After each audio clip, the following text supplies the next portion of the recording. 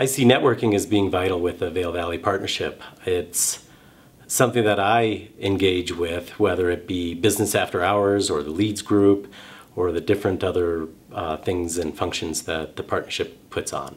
Being an ambassador with the Vail Valley Partnership really has helped my real estate business in seeing the overall picture of what's going on in the community and just getting an idea also of what the partnership is doing and where they're going in the future. Uh, it's just, it's really helped me engage uh, with different organizations and just seeing what is coming into the community.